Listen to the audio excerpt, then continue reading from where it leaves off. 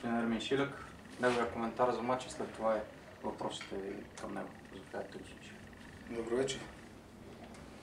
Evo, možemo da, pobedi, da kažem da, da je čestitam pobjedu na ekipu Litex. Iako mislim da, da je bila na početku mm, dobra tvrda utakmica i da, da i mi smo imali svoje šanse koje nismo, nismo karali gol. I mogu da kažem isto malo sam razočaran, sad ću prvi put da govorimo o sudijama, da je jedan veliki liteks treba pomoć sa strane sudije, jer u prvo prvo vreme kako je stavio lakat bez lopte jedan igrač Liteksa, Vareli, tu je za crvena karta i može, tu je bilo kod rezultata 0-0, može se sve ukrenuti, a tu govorim zato što, što mojoj ekipi se prebrzo daju žute karte, i možete da vidite isto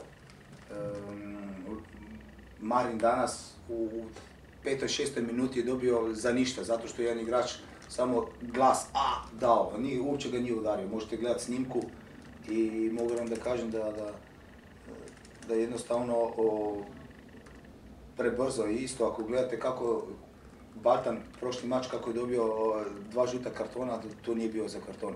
Ako samo usporedimo, jer sam gledao snimku, jer sam se pripremio za taj mač protiv Litex, um, kako njihov broj, crn, crni igrač, ne znam kako mu ime, broj 93, Bomao, Bomao, je napravio za 5-6 žutih karta protiv, zadnji mač protiv Slavije, napravio tih grešaka, a nijednom nije dobio žutu kartu, tako da, da tu sam vrlo razočaran. Uh, jednostavno da imaju ove velike ekipe previše protekcije i onako su kvalitetna ekipa, a još da ih da na taj način uh, uh, pomažu, umjesto da je baš obrnuto da nama ipak smo mi manja ekipa nego, nego oni.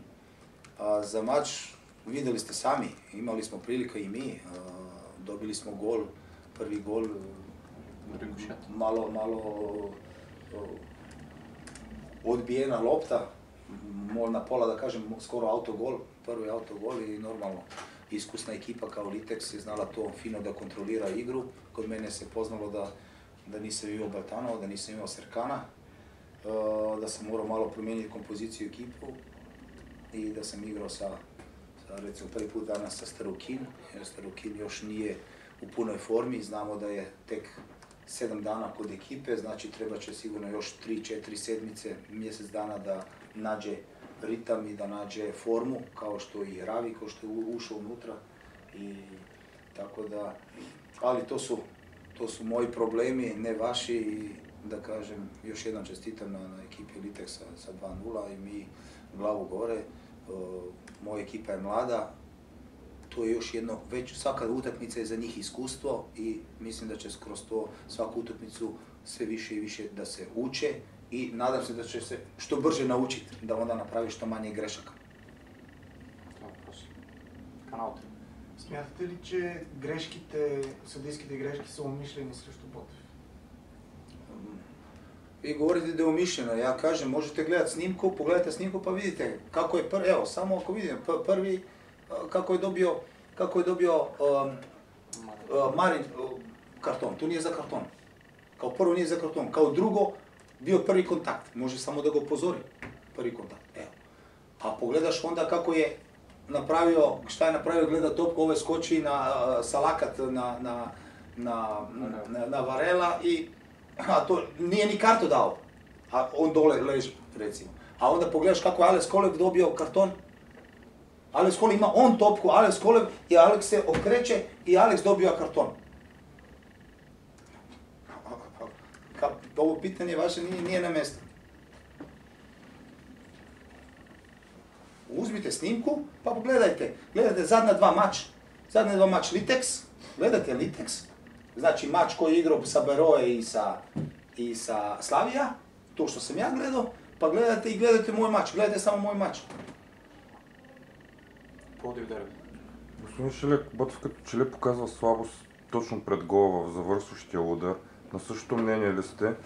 А, в този ред на мисли, а, кога ще бъде критикиран а, Жуел и разполагате и с още един футболист, Алексиев, който беше привлечен наскоро.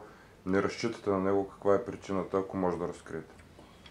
O, da kažem da jeste, imamo problema napred, to ste vidjeli, imamo, imamo problema, možda ako ste bili na treningu, radimo non stop situacije na trening, imam puno šut na trening, ali jednostavno o, igrači su mladi.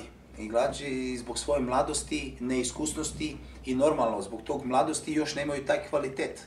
Jer neki igrači prije sazriju i neki, igrači kao Klojvert e, sa 18 godina Ligu šampiona kara gol 1-0 protiv Milan i dobije šampion e, titul Ajax protiv Milan sa 18 godina. A kod mene je Alex Kolev koji isto za nacional tim igra, ima 22 godine. Znači on još nije toliko zreo i treba šansi. Danas imao tri šansi, možda četiri šanse, a nije karao gol. E to je ta razlika gdje neko prije sazrije, a, razumijete, sazrije, a neko kasnije. I znači on kod 22 godine još, još treba, ali nažalost e, trpi ekipa, normalno. Ekipa trpi, a da je Alex dao gol, može biti 1-1 i okrene se rezultat. Ja, i bila je šansa, dobro, isto tamo imao je šansu Zlatkov isto da dadne gol, ima i, ima i, i, i Plamen, tako da imali smo mi šanse, imali smo i, i Prečku gore, tako da, da ne možete da kažete da je, da je Litex bio ekipa protiv nas superiorna, to nije, bili smo, tu, tu smo bili, ja mislim da čak um, sam više očekivao od jednog velikog Liteksa da će više napadat, a ne da se poviše brani, tako da uh, mislim da smo mi više hrabrije ušli u igru i da smo pokušali više da igramo nego oni. Oni su igrali normalno svoju igru, čekali su naše greške, dali su prvi gol na naš, malo čudan, kao autogol, možda je bio autogol, ja mislim. Autogol je bio, e, jer je promijenila spravac u lopta. I onda normalno, to, je, to su detalji gdje kod 0-0, oni 1-0, tu se okrene rezultat i onda je normalno um, teško, teško je preokrenuti rezultat, pogotovo ekipa koja dadne gol psihološki se digne, a ekipa koja dobije, pogotovo moja ekipa koja je dosta mlada kad gledate, uh, nemaju toliko još samopouzdanja u sebi i toliko iskustva da bi znali to da okrenu. Ali to će doći s vremenom, sa utakmicama, sad koliko vremena, to ja ne mogu da znam. Ja bih htio da bude to već drugi mač, ali, ali mladi igrači, znate, treba puno, puno mač da, da, se igra, da dođe to iskustvo. Za Joelu i Aleksijev? Za Joel, Joel je morao da ide kući, da, da potpisuje kontrakt, išao je kući da razbere te papire, da može biti da se registrira. Ima još neke, neke dokumente da se sredi. A Aleksijev, za sada Aleksijev šta da kažem, Aleksijev je za, na, na treningu, trening je gdje mora da mi pokaže da si zasluži mjesto. Kao on i kao drugi igrači. Znači, nema kod mene uh, uh, ništa, uh, da kažem, mm, da ima neku protekciju ili ne. Ja jednostavno, kako mi trenira, ako mi trenira, ako mi pokaže i onda normalno dobit će šansu. Ako ja procijenim, mogu ja da pogrešim, normalno, svi mi grešimo, svi mi grešimo, ali ako imam dva igrača gdje sam u dilemi, normalno da ću razmišljati, no, ovaj mi je bolje trenirao nego ovaj. Доволен ли сте от а, селекцията? Трима футболисти привлекахте през паузата. Вие лично доволен ли сте от, от нея? От това, че успяхте да привлечете точно тези трима футболисти? Uh, nisam baš razvio polako, leko. Are you glad uh, for the new players, three new players? O, Kifueti, uh, sad, evo, sami ste vidjeli, igrali smo kontrol, igrali smo kontrol mač. Na kontrol mač uh, dobro su pokazali se, ali je normalno šta je problem kod tih igrača. Ta je igrača, nova dva igrača koji su došli, Kifueti i, i, Joel, to su dva igrača uh, koja smo u kratko vrijeme vidjeli smo da ima kvalitet. Za dva dana ne možeš opet puno da vidiš. Ali mi, pošto vrijeme ide, mi nemamo vremena sad da zovemo igrače na probu, na kontrol, pa drugi, pa treći, pa sad može biti tako još dva, tri mjeseca. I ako bude dva, tri mjeseca, prođe, mi trebamo sad igrač. A drugi problem je to što su igrači koji su došli nisu fizički spremni. Jer igrači nisu imali klub. Jer uh, Kifueti pola godine nije igrao, a, a Joel nije godinu dana igrao.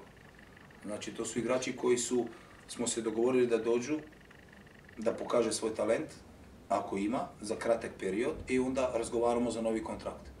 Znači, jer mi u situaciji kakvi trenutno smo, vi znate kako je u klubu, znači ne možemo mi kupiti neko veliko ime i tako dalje. Znači, mi smo u situaciji bili gdje smo uzeli uh, igrači koji su slobodni igrači i normalno slobodni igrači su u ovaj moment Siga e, bez kluba. Samo treba će sad njima isto, 3, kao što Rukin, 3, 4, 5, 6 mač, da uhvati ritam. Merci. Karao. That's it, coach. Okay.